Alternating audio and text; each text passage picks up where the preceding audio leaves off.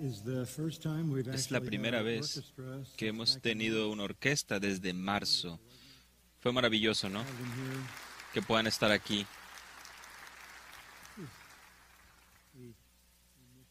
Habíamos extrañado esto. Estamos muy contentos de poder estar juntos, ¿no? Somos el único lugar abierto en Los Ángeles.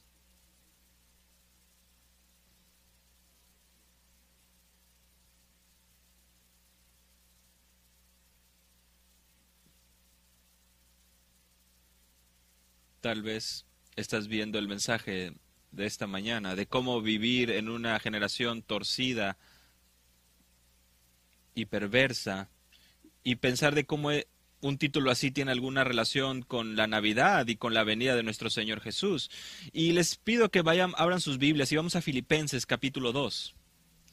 Fue hace varios meses que vimos este, esta porción de la escritura con detalle y me gustaría regresar a partir del versículo 5 y vamos a leer vamos a leer este pasaje tan familiar, tan conocido, que identifica la venida del Salvador.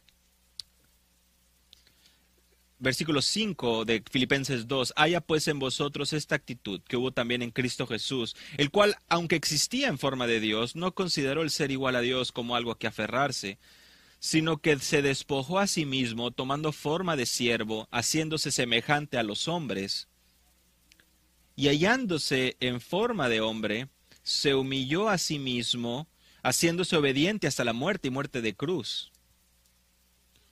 Por lo cual también Dios le exaltó hasta lo sumo y le confirió el nombre que es sobre todo nombre, para que el nombre de, en el nombre de Jesús se doble toda rodilla de los que están en el cielo y en la tierra y debajo de la tierra. Y que cada lengua confiese que Jesucristo es Señor para gloria de Dios Padre. Así que, amados míos, tal como siempre habéis obedecido, no solo en mi presencia, sino ahora mucho más en mi ausencia, ocupaos en vuestra salvación con temor y temblor. Porque es, Dios es quien obra en vosotros tanto el querer como el hacer para su beneplácito. Haced todas las cosas sin murmuraciones ni discusiones, para que seáis irreprensibles, hijos de Dios y sin tacha, en medio de una generación torcida y perversa, en medio de la cual resplandecéis como luminares en el mundo, sosteniendo firmemente la palabra de vida, a fin de que yo tenga motivo para gloriarme en el día de Cristo, ya que no habré corrido en vano ni habré trabajado en vano. Pero aunque yo sea derramado como libación sobre el sacrificio y servicio de vuestra fe, me regocijo y comparto mi gozo con todos vosotros. Y también vosotros os ruego, regocijaos de la misma manera y compartid vuestro gozo conmigo. Habrán notado en el verso 15 de que nosotros vivimos en medio de una generación torcida y perversa. Esto es, no solo una descripción de nuestro tiempo ahora, sino que queda muy bien en cualquier contexto de la historia. Toda generación, de alguna u otra manera, muestra lo torcido y perverso que es el corazón del hombre. Estamos viéndolo en nuestro tiempo de una manera muy clara. Lo que este texto nos dice es que tenemos la responsabilidad, en medio de esta generación torcida y perversa, de actuar como hijos de Dios y de resplandecer como luminares, como luces en el mundo. Es por eso que estamos aquí. Dios entiende que es una generación torcida y perversa. A veces, como en nuestro caso ahora, eh, está abierta la manifestación de todo esto. En otras ocasiones está algo cubierto. Sé que muchos de ustedes se sienten muy tristes ante los eventos de la última elección. Tal vez ustedes estuvieron orando y clamando por misericordia, pero no están viendo esta misericordia están viendo cómo eh, el poder estructural de este país está siendo tomado por hombres alejados de Dios, completamente contrarios a la escritura. Es muy fácil poder llegar a un desánimo, sobre todo si ustedes eh, y, y si alguno de ustedes tiene ese amor por la verdad. Perseguimos esa verdad, perseguimos esa justicia, pero nuestra generación está tan profundamente arraigada en pecado que es tan difícil. Y ahora tenemos portavoces de esta maldad con poder político gobernándonos. Amamos a la familia, nutrimos a nuestra eh, comunión, pero tanto los medios de comunicación como nuestros líderes destruyen, destruyen esto.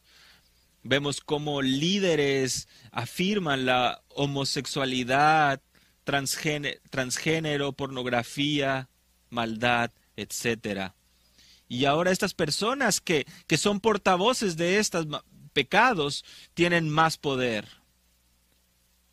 El matrimonio, la familia, seguramente no sobrevivirá. Y todo, todo lo que destruye la familia y al matrimonio comenzará a recibir el respaldo de la ley. Nosotros respaldamos la ley, el orden, porque es ordenado por Dios, pero ahora tenemos líderes que quieren quitarle los recursos a la policía, quieren abrir asaltos en contra de ellos, atacarlos, 8.700 protestas en los últimos meses. 574 de esto fue, fueron disturbios y al menos 2.000 policías fueron lesionados. Todo esto fue coordinado y organizado y solamente uno de estos incidentes causó un daño de 70 millones de dólares. Y la policía solamente podía ver y apreciar mientras todo esto sucedía. Tememos por nuestra seguridad y la de nuestros hijos.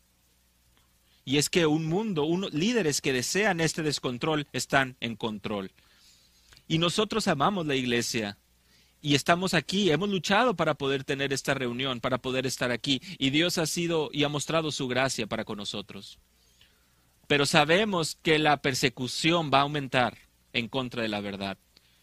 Y toda nuestra generación se va cayendo cada vez más profundo y cada vez van en contra de la escritura de una manera más radical. ciertamente estamos saturados y hay una decepción muy grande. Y sabemos que estamos en medio de un juicio divino. El Señor nos, ha, permitido estar viviendo en medio de todo esto, mentes reprobadas, una revolución sexual. Nuestra nación está en juicio, está eh, eh, recibiendo ira. Y parte de este juicio va a venir de parte de aquellos que nos gobiernan deseamos misericordia en medio de este juicio, pero parece que una nueva, un nuevo una nueva fortaleza, un nuevo ejército se ha levantado. Son agentes de Satanás. ¿Y cómo vamos a responder? ¿Cuál va a ser nuestra reacción a todo esto? Nos da un sentido de miedo acerca de, lo que, de que lo que depara el futuro para nuestros hijos, para nuestros nietos. Mientras más vemos los pecados de esta generación y vemos cómo esto repercute en las siguientes generaciones. Quiero hacerles una pregunta que Francis Schaeffer hizo hace varios años cuando dijo, ¿cómo entonces debemos vivir? ¿Cómo entonces debemos vivir? ¿Qué hacemos ahora? Y yo creo que tenemos la instrucción en esta porción de la escritura, aquí en Filipenses 2. Y quiero que podamos verla en perspectiva, en un, en un ambiente un poco más amplio, al ver este pasaje. Me gustaría que pudiéramos ver tres puntos muy simples, muy simples de este texto, tres puntos muy simples, realidades básicas para navegar en este tiempo. Número uno, ¿dónde estamos? Número dos, ¿quiénes somos? Y número tres, ¿cómo debemos vivir? Todo está aquí para nosotros. Vamos a empezar con el punto número uno, ¿dónde estamos? Versículo 15. Estamos en medio de una generación torcida y perversa. Ahora, esto sería, es, es, es cierto en el contexto de los filipenses en ese, aquel tiempo, una ciudad ubicada en el noreste de Macedonia, la parte de Grecia, lo que ahora conocemos como Grecia, era, era una, una ciudad muy, muy ocupada. Se encontraba por ahí eh, una ciudad con mucho comercio, había varios manantiales, había un río, Strymon, así que tenían suficiente agua. Fue descubierta eh, y fueron descubiertas varias minas de oro, así que era atraído eh, por muchas personas. El venir a Filipos era muy conocido por sus minas de oro. Y esta, eh, y esta generación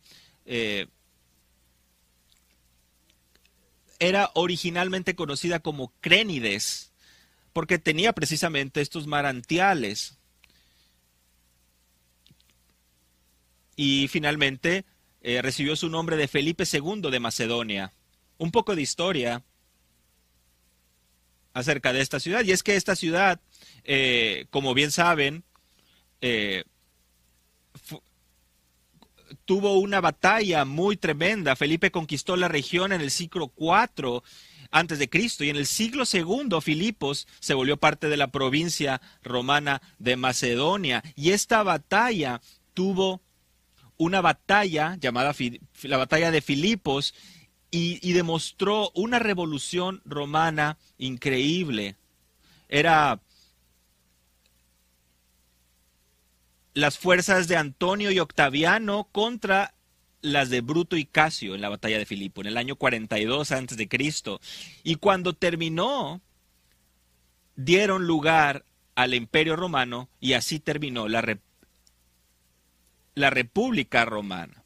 Y varios soldados se quedaron en Filipos. Se convirtió en una ciudad con varios veteranos del ejército. Y se convirtió en una ciudad muy pagana. Y si eras, si eras ciudadano de, Filipos, tenías la ciudadanía romana. Así que asumías y adoptabas toda la perversidad que existía en la nación romana en aquel tiempo. Costumbres romanas, eh, idioma romano y todo aquello que hacían. Y aquí fue la primera iglesia establecida por Pablo en Europa. Ustedes lo saben, en Hechos 16. Pablo fue llevado a la cárcel. Se remonta esto al segundo viaje misionero de Pablo. Y este fue el tiempo donde esta iglesia se fundó. Y los, y los creyentes eran muy pobres. Esto lo podemos ver en 2 Corintios 8. Y ahí podrán leer acerca de los pobres creyentes de Macedonia. Estos serían los filipenses. Estaban en una condición muy precaria. Pablo decía que eran muy generosos, pero es que ellos daban de lo profundo de su pobreza. Ellos estaban navegando en medio de un mar pagano completamente. Ustedes podrán imaginar esto, una generación influenciada por todos estos soldados que habían llegado, que habían venido. Y cuando esta iglesia fue fundada por el apóstol Pablo, fue asaltada, fue, fue atacada. Vemos esto en el capítulo 1, versículo 28. Pablo dice, no, no, no se alarmen por sus oponentes, no sean amedrentados por vuestros adversarios, que es un, una señal de destrucción para ellos, pero para nosotros es de salvación, porque a vosotros se os ha concedido por amor de Cristo no solo creer en Él, sino también sufrir por Él, sufriendo el mismo conflicto que visteis en mí y que ahora oís que está en mí. No, no se alarmen por la persecución. Ustedes se les ha concedido por amor de Cristo de sufrir. Así que esto es una iglesia y aislada en el imperio romano, en la única iglesia en Europa, en medio de un mar, pagano. Y para poner las cosas en peor perspectiva, la iglesia fue atacada por enseñanzas falsas. Vean el capítulo 3, versículos 2. Cuidados de los perros, cuidados de los malos obreros, cuidados de la falsa circuncisión. Un ataque. Versículo 18 del capítulo 2. Son enemigos de la cruz de Cristo porque su Dios es su eh, eh, es su perdición, Dios es su apetito, cuyo Dios es su apetito y cuya gloria está en su vergüenza. Solo piensan en las corres terrenales. Ellos se enorgullecen de su maldad. Esta es una iglesia pobre, es una iglesia perseguida, es una iglesia que está siendo asaltada y atacada por falsos maestros, es una iglesia batallando con, con eh, falta de unidad, y seguramente estamos familiarizados con esto. En el capítulo 2. Si hay algún consuelo, si hay, si hay algún afecto, hacer mi gozo completo siendo de mismo sentir y tengan un propósito. No hagan nada por sus propios intereses. Consideren al prójimo como uno mayor a, a uno mismo. No vean por su propio interés, sino vean por el prójimo. Versículo 4, versículo 2, vean a Evodia y Sintique que se les pide que vivan en armonía de manera pública. Y alguien tenía que venir a ayudar a estas mujeres y que puedan arreglar su vida. Esto es difícil. La única iglesia en Europa, en medio del paganismo, pobres, perseguidos, atacados por falsos maestros y, internamente una falta de armonía, de unidad latente. De hecho, Pablo le escribe esta, eh, esta carta a ellos en su cuarto año estando en prisión, esperando que Nerón diera el veredicto final de su condena. Esta iglesia, esta carta, esta epístola es llamada la epístola del gozo es conocida como la epístola del gozo, la carta del gozo. Pablo espera gozo en una iglesia en medio de una generación torcida y malvada. Esta frase, esta frase fue usada por nuestro Señor en Mateo 17 y también en Lucas 9 que nuestro Señor le dijo a los judíos de aquel momento, ustedes son una generación torcida y perversa. Esta es, una esta es una descripción general del mundo realmente. Torcida, en el verso 15, es la palabra griega escolias, de lo que nosotros obtenemos escoliosis, del, de la espina dorsal, del coraje. Significa de, desviarse significa eh, desviarse, es una generación de, de, unas personas, de una generación, de unas personas que están completamente torcidos, van en la dirección incorrecta. Vean Proverbios 2.11. La discreción velará sobre ti, el entendimiento te protegerá para librarte de la senda del mal, del hombre que habla cosas perversas, de los que dejan la senda de rectitud para andar por los caminos tenebrosos, de los que deleitan en hacer el mal y se regocijan en las perversidades del mal, cuyas sendas son torcidas y se extravían en sus senderos. Proverbios 2, 11 al 15. Y desde aquí ya vemos la realidad y la descripción perfecta de lo que sucede en el mundo. Y como pueden ver, esa misma descripción se repite en las palabras de nuestro Señor y en el contexto de los filipenses. Proverbios 21, 8 nos dice acerca de lo mismo. Isaías también habló acerca de los mismos. Isaías dice básicamente lo mismo que ya los demás han mencionado. escuchen Isaías 59, versículo 7 y 8 del capítulo 59. Sus, sus pies corren al mal y se apresuran a derramar sangre inocente. Sus pensamientos son pensamientos de iniquidad. Desolación y destrucción hay en sus caminos. Camino de paz.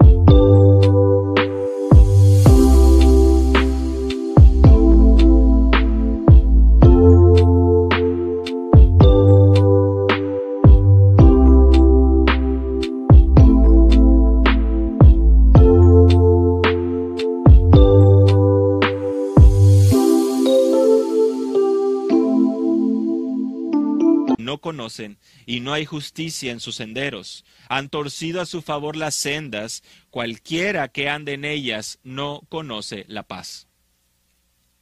Torcida y perversa. Nada nuevo. En Hechos, capítulo 2, versículo 40, escuchen esto, escuchen esto, Hechos 2.40. Sed salvos de esta perversa generación. No estamos sorprendidos de esta perversión. Dios ya no lo había anunciado. Y, perversa, esta segunda palabra, son sinónimos, diastrefon, significa distorsionar, pervertir. La primera palabra significa doblar o desviar o torcer, la segunda palabra significa distorsionar o pervertir. Y eso es lo que encontramos en nuestro tiempo hoy. Así que no podemos esperar algo diferente de lo que estamos viendo hoy en día. Nuestro país, nuestra nación, nuestro mundo ha regresado, digamos, que al punto número uno acerca de la perversión, al poder ver la manera en que se ha desviado en tanto creencia como en inmoralidad. El apóstol Pablo está dibujando este juicio de torcida y perversa generación, porque esto viene y lo está tomando de Deuteronomio, capítulo 22, y lo vamos a ver más adelante. Y esto es esencialmente una referencia de la cual nuestro Señor estaba hablando en Mateo 19 y Lucas 9. Así que la historia de Israel y de las palabras de Jesús, culpando a los judíos de aquel tiempo, Pablo usa esta frase para poder mostrar esa diferencia entre el mundo y los creyentes. Torcidos y perversos. El término generación no significa tanto una raza o una nación, pero significa aquellos que están vivos en un determinado tiempo. gente que está viva en un determinado tiempo. Todos aquellos que odian al Señor. Y es donde vivimos. Es donde estamos. Y esto es exactamente donde el Señor quiere que estemos. ¿Saben? Cuando el Señor oraba eh, su oración en Juan 17, en el versículo 15, esto es lo que les dice, le dice al Padre acerca de nosotros. No te ruego que los saques del mundo, sino que los guardes del maligno. ¿Lo entendieron? No te ruego que los saques del mundo, Padre, sino que los guardes del maligno. Ellos no son del mundo, como tampoco yo soy del mundo. Santifícalos en la verdad, tu palabra es verdad. Como tú me enviaste al mundo, yo también los he enviado al mundo. Lo que está diciendo es, no quiero que los saques del mundo, quiero que los protejas del Dios de este mundo, el enemigo, el diablo. Quiero que los protejas en tu verdad en Primera de Corintios capítulo 5, el apóstol Pablo dice esto, versículo 9. En mi carta os escribí que no anduvieras en compañías de personas inmorales. No me refería a la gente inmoral de este mundo, o a los avaros y estafadores, o a los idólatras, porque entonces tendrías que salir del mundo. No, no, no cuando yo les digo de que no se refieran a la gente inmoral de este mundo, no te estoy diciendo que te vayas a aislar o vayas a vivir en un monasterio. No puedes dejar el mundo porque Dios te puso ahí con un propósito, por un propósito de redención eterno que Él tiene. Así que, así que si por si estabas dudando, por si las dudas, déjame te repito, estamos donde debemos estar y el mundo es exactamente como debe ser solamente que ahora está más abierto de como acostumbrábamos a verlo antes. Y su poder es, es, está en todos lados y ha crecido a las alturas del liderazgo. Así es que donde estamos en este lugar, en este momento, porque el Señor así lo ha deseado. Y Él oró para que no fuéramos aislados de este mundo, sino que nos fuéramos protegidos mientras estamos alcanzando el mundo, ¿verdad? Estamos exactamente donde debemos estar y el mundo es exactamente como debe estar y como siempre ha estado. El segundo punto que les había mencionado de este texto, ahora que sabemos dónde estamos, ahora vamos a responder el segundo punto, que es ¿quiénes somos? Versículo 15. ¿Quiénes somos nosotros? ¿Qué rol tomamos en, este, en esta perversa, torcida generación? Bueno, veamos el versículo 15. Somos hijos de Dios.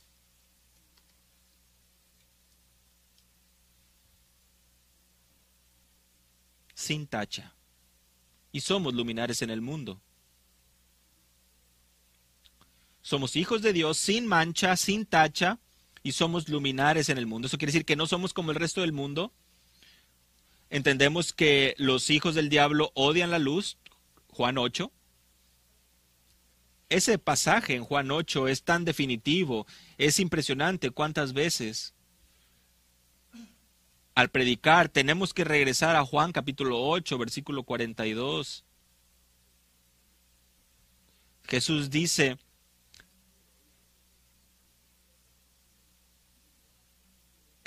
pues no ha venido por...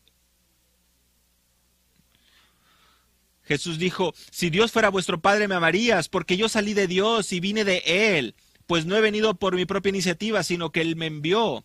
¿Por qué no entendéis lo que digo? Porque no podéis oír mi palabra. Sois de vuestro padre el diablo y queréis hacer los deseos de vuestro padre. Él fue un homicida desde el principio y no se ha mantenido en la verdad porque no hay verdad en él. Cuando habla mentira, habla de su propia naturaleza porque es mentiroso y el padre de la mentira. Pero porque yo digo la verdad, no me creéis. ¿Entiendes esto? Si hay una característica de este mundo, es que son asesinos y mentirosos. Son asesinos y mentirosos, porque su padre, el diablo, es el más alto mentiroso y homicida. ¿Te sorprendes cuando escuchas mentiras de las personas? No te sorprendas. Su Padre es la fuerza en ellos que justifica la mentira. Nosotros somos hijos de Dios. Por otra parte, hay una clara separación. Y como somos hijos de Dios, escuchamos la palabra de Dios y, y seguimos su palabra y obedecemos su palabra somos hijos de Dios por nacimiento y somos hijos de Dios por adopción. Estamos cubiertos en ambos lados. Leí eh, eh, hace un momento Juan 1.12, aquellos que le recibieron, aquellos que creen en su nombre, les dio la potestad de ser hechos hijos de Dios. Esto es repetido en varias ocasiones en el Nuevo Testamento, en el Nuevo Testamento que somos hijos de Dios y no somos hijos del diablo. Primera de Juan 3:10, por esto los hijos, la diferencia entre los hijos de Dios y los hijos del, del diablo. Todo aquel que no practica la justicia no es de Dios, tampoco aquel que no ama a su hermano. Así que podemos ver claramente una falta de amor en aquellos que no aman a Dios. Ese es su pecado. Aquellos que no practican la justicia. Y es exactamente la descripción de un hijo del diablo. Es un tema común y recurrente en esta generación y lo podemos ver desde el principio. Primera de Juan 3, 1. Mirad con un amor nos ha otorgado el Padre para que seamos llamados hijos de Dios, y eso somos. Por esto el mundo no nos conoce, porque no le conoció a Él.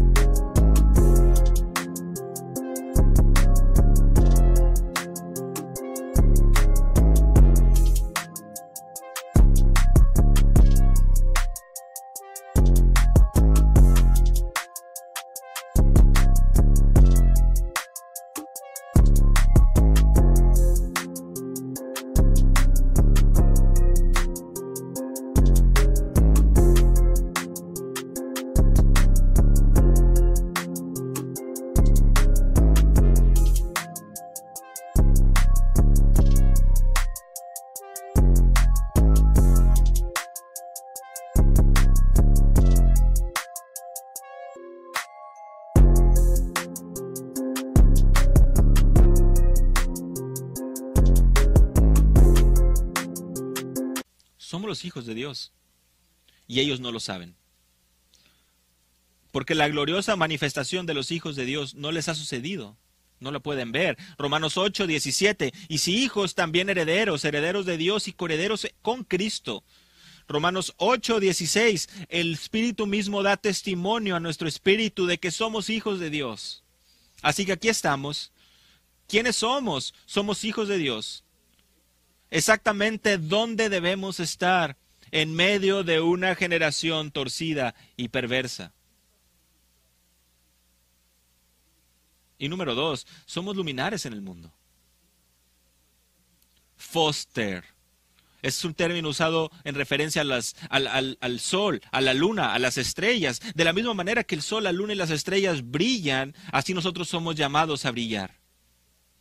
Nosotros brillamos como luminares en medio de la oscuridad del enemigo.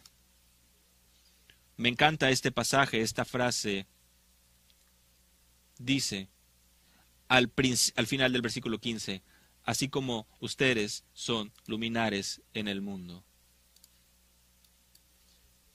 Literalmente estamos resplandeciendo, estamos las luminarias, estamos siendo la luz, la preciosa y brillante luz del Evangelio. Aquí es donde debemos estar y esto es lo que somos como hijos de Dios. Y el somos el único recurso de luz en la oscuridad. En Isaías 49, 6, hablando acerca del Mesías, dice, te haré luz de las naciones para que mi salvación alcance hasta los confines de la tierra. Isaías 49, 6. Jesús vino a esta tierra y Él es la luz, la luz de las naciones, la luz de la verdad, la luz de la vida. Y Él vino a morar en nosotros para que nosotros también pudiéramos brillar en este mundo. Los judíos pensaron que ellos eran la luz, que ellos eran las luminarias. Vean en Romanos 2, versículo 17. Pero si tú que llevas el nombre judío y te apoyas en la ley, que te glorías en Dios y conoces su voluntad, que aprueba las cosas que son esenciales, siendo instruido por la ley, y te confías en que eres guía de los ciegos, luz de los que están en las tinieblas, instructor de los necios, maestro de los faltos de madurez, que tienes en la ley, la expresión misma del conocimiento y de la verdad. Tú puedes que enseñas a otros, ¿no te enseñas a ti mismo? Tú que predicas que no debes robar, ¿robas? Tú que dices que no se debe cometer adulterio, adulteras? Tú que abominas a los ídolos, saqueas templos, tú que te jactas de la ley violando la ley deshonras a Dios, porque el nombre de Dios es blasfemado entre los gentiles por causa de vosotros. Tú dices que eres la luz, pero tus obras no demuestran esto. Te ajustas a una forma de tinieblas, al estándar de las tinieblas. Los judíos no eran esa luz pero nuestro Señor. En su sermón inicial en Mateo 5 dijo esto a sus seguidores, a nosotros hoy, versículo 14, vosotros sois la luz del mundo. Una ciudad situada sobre un monte no se puede ocultar, ni se enciende una lámpara y se pone debajo de un almud. Somos la luminaria. Somos exactamente donde debemos estar. Estamos en medio de una generación torcida y maligna. Estamos donde Él quiere que estemos. Él no quiere que estemos lejos de esto. Él no quiere sacarnos. Él nos quiere protegidos del mal. Él nos quiere que seamos santificados por la verdad. Pero estamos exactamente donde debemos estar.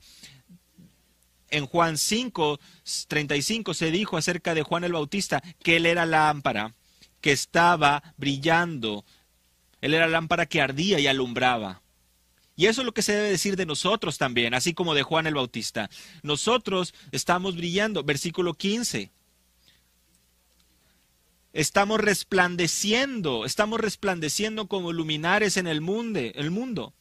Proverbios 4:18 nos dice, mas la senda de los justos es como la luz de la aurora que va en aumento, en resplandor.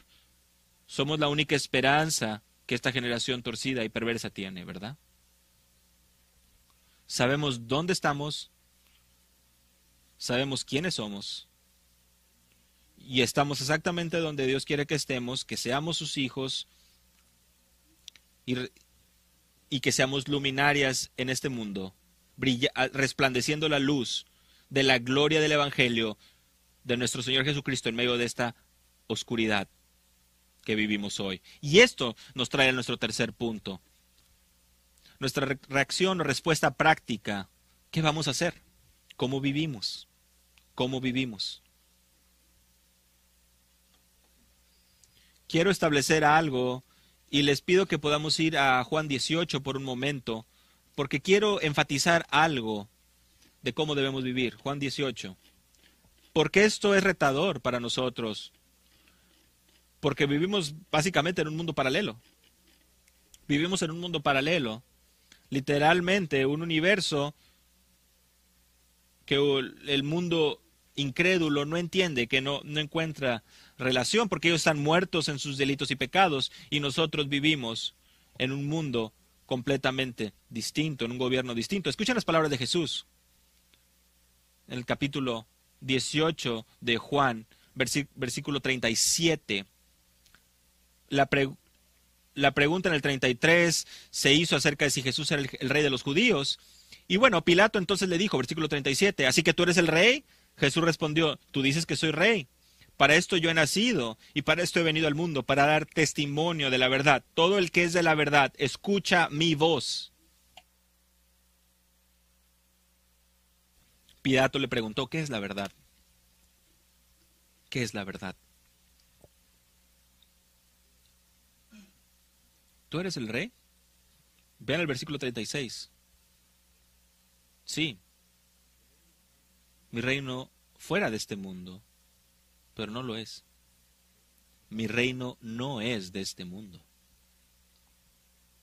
Mi reino, su reino, el reino que le pertenece a él. Le intentaron ser, ser el rey, él no lo permitió. Y esto es lo que está diciendo, escuchen atentamente. Su reino no tiene conexión a ningún reino de este mundo. ¿Lo entienden? No tiene ninguna relación, no tiene ninguna conexión. Todo el mundo está en las manos del maligno. nosotros hemos sido rescatados del mundo de tinieblas al su mundo de luz.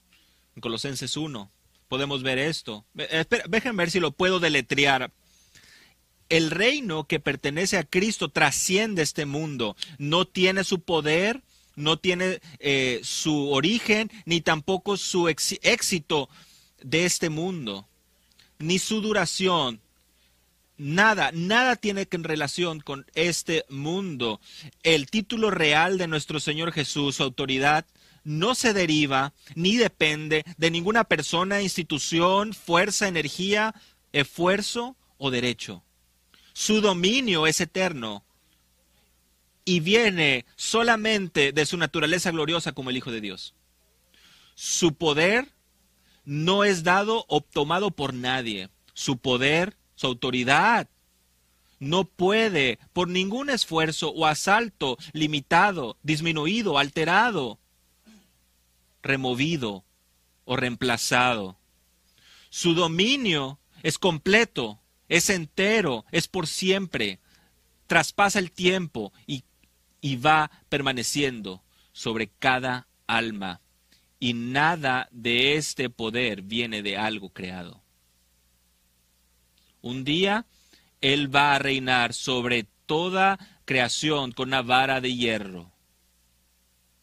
Salmo 2, Apocalipsis 20. Y lo hará en justicia y en verdad Así que, así que Jesús le dio el testimonio, le dio el manifiesto de su reino. Y es el mejor de los reinos, el que trasciende.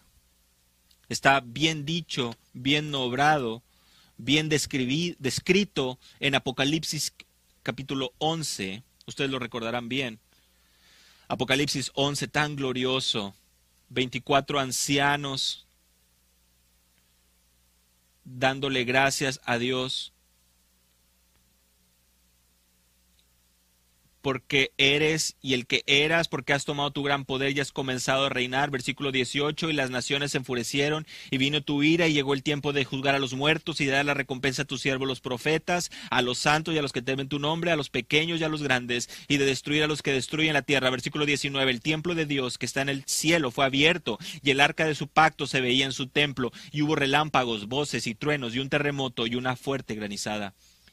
Vamos al versículo 15 de regreso. ¿A qué se refiere esto? El reino del mundo ha venido a ser el reino de nuestro Señor y de su Cristo, y Él reinará por los siglos de los siglos. Esto viene.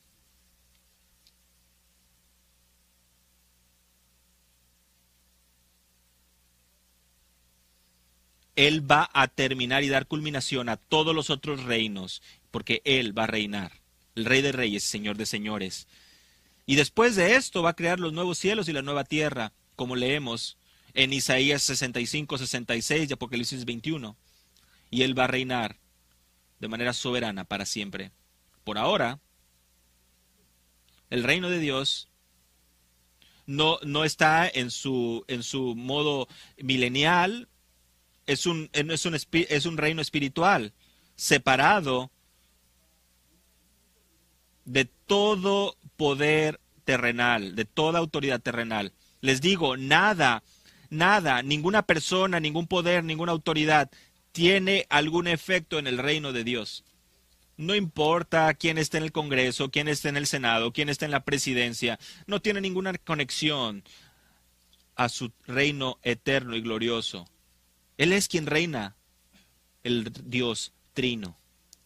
Por ahora, el reino de Dios, el reino de Cristo, es una realidad espiritual que está separada de cualquier otro reino las realidades de su reino no pueden ser propagadas, no pueden ser protegidas o alteradas por ningún poder de esta tierra. La realidad de su reino no puede ser dañada, no puede ser tomada, no puede debilitarse por ningún poder. No hay leyes que pueden hacerse que puedan hacer su reino más exitoso o más efectivo. Nada, no hay nada, ningún rey, ningún poder, ningún ninguna persona, no hay nada que puedan hacer en su esfuerzo, en su esfuerzo temporal que pueda disminuir el poder de su reino. Por ahora, su reino está en el corazón de aquellos que creen en Él. Él es nuestro rey. Y la iglesia está y es precisamente donde la iglesia está fundada en la verdad. Es donde vivimos. Y, empezamos con ese fundamento. ¿Dónde estamos? Es exactamente donde Él quiere que estemos. ¿Quiénes somos? Exactamente quién Él nos ha llamado a ser. Y cómo vivimos en este mundo paralelo. Bueno, so hay varias cosas que podríamos ver si vamos Vamos al versículo 5. Vamos a ver varios imperativos. Los imperativos son, los imperativos son eh, mandatos. Haya pues en vosotros esta actitud que hubo también en Cristo Jesús, que se humilló a sí mismo. ¿Cómo es que debemos vivir? Bueno, debemos vivir en humildad. Debemos de tener la misma actitud que tuvo Cristo Jesús al, al no considerar el ser igual a Dios como algo que aferrarse, sino despojarse a sí mismo.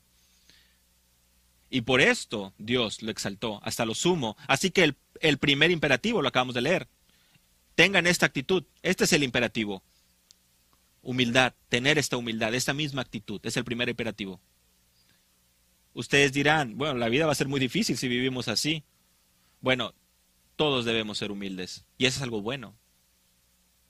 Porque aquel que es humilde, Dios lo exalta. Sabemos esto.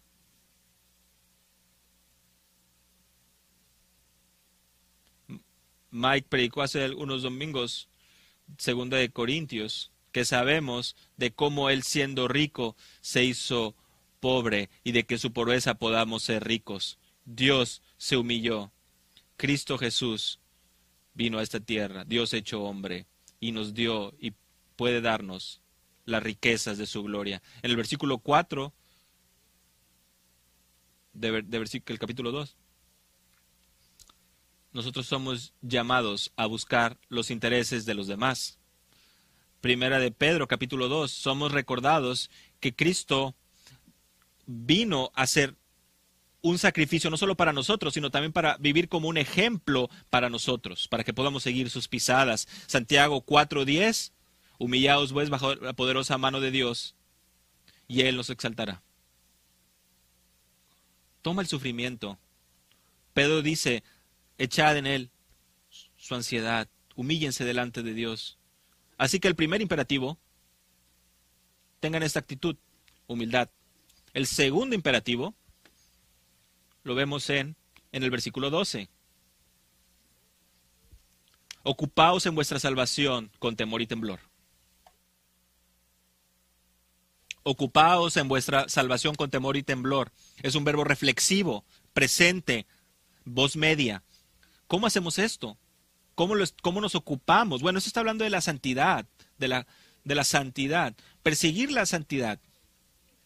Toma, si quieres, esas palabras hermosas del capítulo 3 de Filipenses, donde dice, versículo 12, no porque yo ya lo he alcanzado, ni porque ya sea perfecto, sino que prosigo adelante a fin de alcanzar aquello por lo cual también fue alcanzado por Cristo Jesús. Dice, sigo adelante a fin de poder alcanzar. Esto es Pablo diciendo, yo persigo santidad, yo busco ser más como Cristo. Y el versículo te dice esto, porque el versículo 15 dice, para que debemos ser hallados irreprensibles y sencillos. Así que mientras nos ocupamos en nuestra salvación, Él dice esto, así que mis amados, así como siempre han obedecido, tal vez, ¿y cómo, cómo, cómo hacemos esto? Por obediencia mediante la obediencia, amando y siguiendo, yendo tras una vida intachable. Hay un elemento de adoración aquí, con temor y temblor. Versículo 12. Bueno, este es un imperativo que nos incluye a todos nosotros. Traer a la culminación, que, persigamos esto hasta culminarlo. ¿Es esto realista? ¿Cómo hacemos esto?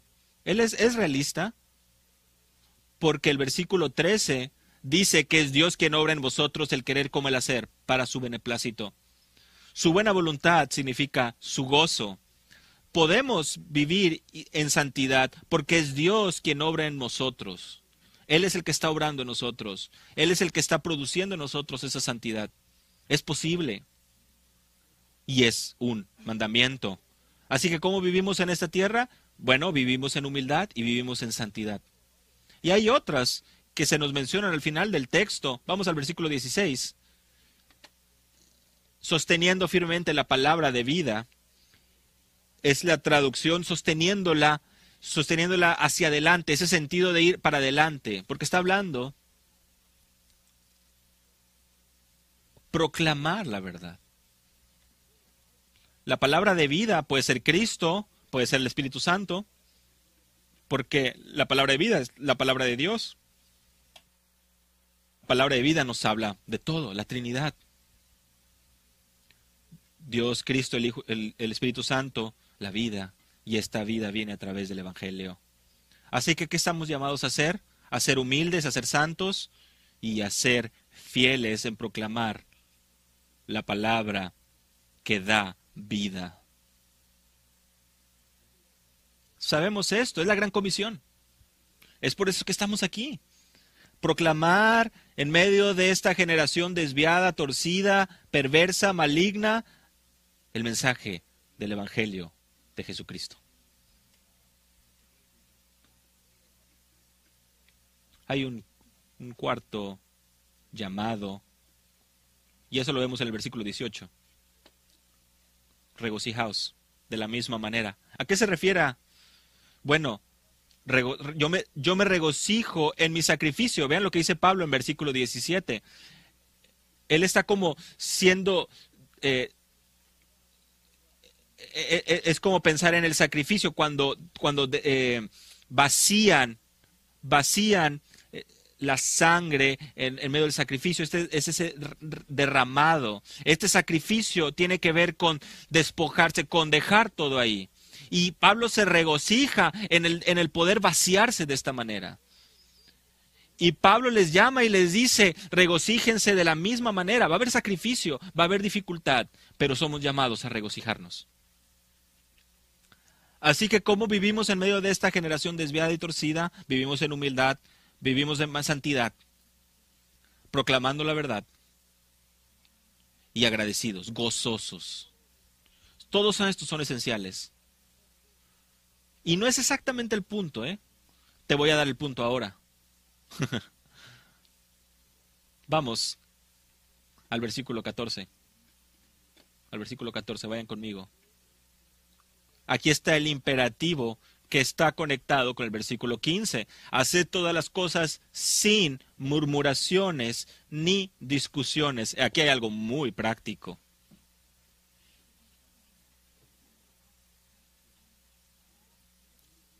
Dejen de quejarse.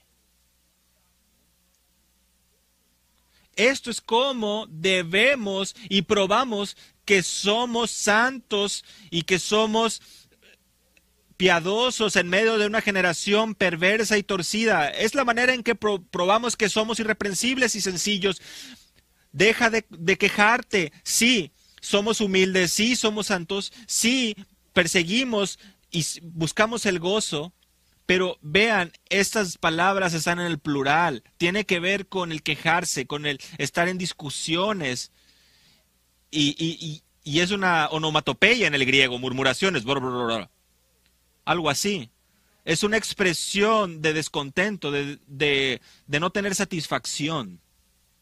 Ese tipo de expresión. Por eso la onomatopeya. ¿Qué significa esto? ¿Quejarse en contra del gobierno? No. Deja de quejarte con Dios acerca de la situación. Tú eres quien eres, tú estás donde debes estar y tú eres llamado a no quejarte porque aquí es donde Dios te ha puesto. No, no, discutas con Dios acerca de su voluntad, no discutas con Dios acerca de sus propósitos. Pablo toma esta frase y, les voy, vamos a hacer lo que les haya mencionado que íbamos a hacer, Deuteronomio 32, Deuteronomio 32. Moisés al final de su vida está por morir y, da un mensaje de advertencia. Vean los primeros versículos Oídos cielos y dejadme hablar, y escuche la tierra las palabras de mi boca. Caiga como la lluvia mi enseñanza, y destile como el rocío mi discurso, como llovizna sobre el verde prado y como aguacero sobre la hierba, porque yo proclamo el nombre del Señor. Atribuid grandeza a nuestro Dios, la roca, su obra es perfecta, porque todos sus caminos son justos. Dios de fidelidad y sin injusticia, justo y recto es Él. ¡Wow! Ese es nuestro Dios. ¿Lo entendiste? Ese es nuestro Dios la grandeza de nuestra Dios, la roca inamovible, sus obras son perfectas, sus caminos son justos, Dios de fidelidad y sin injusticia, justo y recto es Él. Por otro lado, la gente había actuado de manera perversa y torcida. No son sus hijos debido a la falta de ellos, sino una generación perversa y torcida. Y de ahí es donde viene el término que usa Pablo más adelante ustedes han sido una generación perversa y torcida.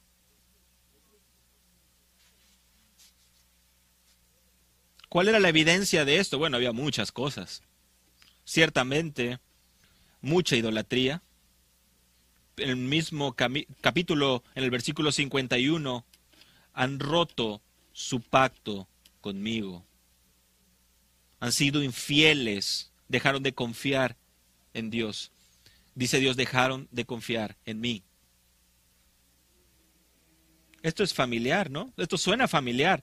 Esto es después de los 40 años. Vamos al principio, vamos a Éxodo 15. ¿Quién es el primero que se queja?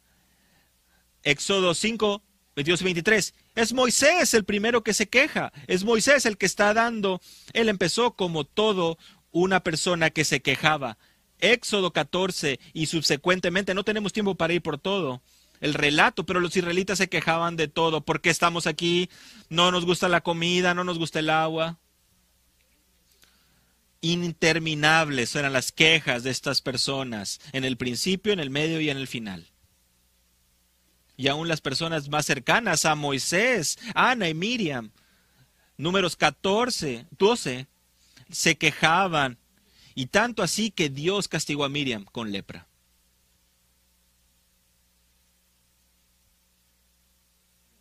Primera de Corintios 10, Pablo dice que esto fue un ejemplo para nosotros. No te quejes, no nos quejemos. No nos quejemos con Dios. Leemos en, el, en, Éxodo y vemos mucho de esto, en números vemos mucho de esto. Déjame, te, te leo unos resúmenes ya para terminar de los salmos. En el Salmo 106, versículo 19. Hicieron un becerro en Horeb y adoraron una imagen de fundición. Cambiaron su gloria por la imagen de un buey que come hierba. Se olvidaron de Dios su Salvador que había hecho grandes cosas en Egipto, maravillas en la tierra de Cam y cosas asombrosas en el Mar Rojo. Él dijo que los hubiera destruido de no haberse puesto Moisés, su escogido, en la brecha delante de él, a fin de apartar su furor, para que no los destruyera aborrecieron la tierra deseable, no creyeron en su palabra, sino que murmuraron en sus tiendas. Murmuraron en sus tiendas.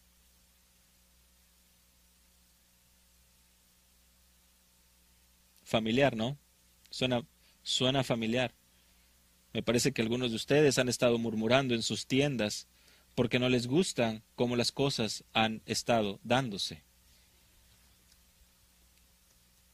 Salmo 78, versículo 17, pero aún siguieron pecando contra él, rebelándose contra el Altísimo en el desierto, y en sus corazones tentaron a Dios pidiendo comida a su gusto. Hablaron contra Dios y dijeron, ¿podrá Dios preparar mesa en el desierto? He aquí hirió la roca y brotaron aguas y torrentes se desbordaron. ¿Podrá también dar pan y proveerá carne para su pueblo? Por tanto, al oírlo, el Señor se indignó un fuego se incendió contra Jacob y aumentó también la ira contra Israel, porque no creyeron en Dios ni confiaron en su salvación. No creyeron en Dios, no confiaron en su salvación. Versículos 33. Él pues hizo terminar sus días en vanidad y sus años en terror súbito. Versículo 40. ¿Cuántas veces se rebelaron contra él en el desierto y le entristecieron en las soledades? Una y otra vez tentaron a Dios y afligieron al Santo de Israel. No se acordaron de su poder del día en que los redimió del adversario. ¿Tú crees que alguien en este mundo podría hacer algo que pueda lastimar a la iglesia de Dios? Dios es nuestro protector. Dejemos de murmurar, dejemos de murmurar, dejemos de quejarnos, dejemos de cuestionar la voluntad de Dios, dejemos de murmurar y cuestionar la obra de Dios. Su obra es para nosotros, está en nosotros y es y sale a partir de nosotros. Y lo que el mundo necesita ver es humildad, santidad, un testimonio de gozo, de hijos de Dios que brillan, resplandecen como luminares en el mundo. Y entonces así vamos a ser irreprensibles, irreprensibles hijos de Dios. Quiero terminar con dos,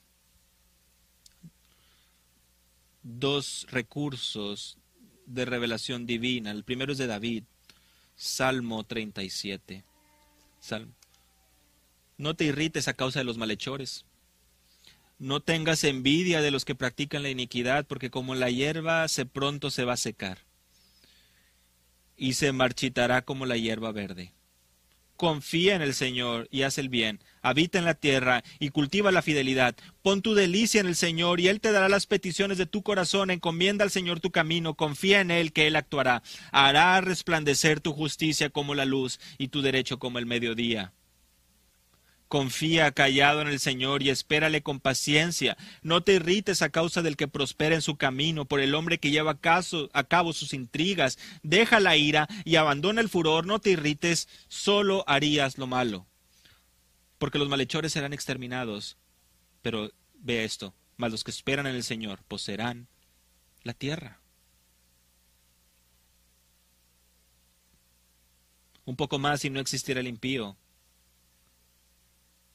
buscarás con cuidado su lugar, pero él no estará ahí. Mas los humildes poseerán la tierra y se deleitarán en abundante prosperidad. Y ahora, eso es de David. Son palabras de David. Ahora vamos a escuchar estas palabras de Pedro. Segunda de Pedro 3. Versículo 8 de capítulo 3 de 2 de Pedro. Pero amados, no ignoréis esto, que para el Señor un día es como mil años y mil años es como un día. El Señor no se tarda en cumplir su promesa, según algunos entienden la tardanza, sino que es paciente para con vosotros, no queriendo que nadie perezca, sino que todos vengan al arrepentimiento. El Señor no va a venir a obrar hasta que todos aquellos que han sido llamados vengan al arrepentimiento. Pero el día del Señor vendrá como ladrón en el cual los cielos pasarán con gran estruendo y los elementos serán destruidos con fuego intenso. Y la tierra y las obras que hay en ella serán quemadas, puesto que todas estas cosas han de ser destruidas de esta manera. ¿Qué clase de personas no debéis ser vosotros en santa conducta y en piedad? ¿Qué tipo de personas debemos ser? Santa en conducta y en piedad, esperando y apresurando la venida del día de Dios, en el cual los cielos serán destruidos por fuego y los elementos se fundirán con intenso calor. Pero según su promesa, nosotros esperamos nuevos cielos y nueva tierra, en los cuales mora la justicia.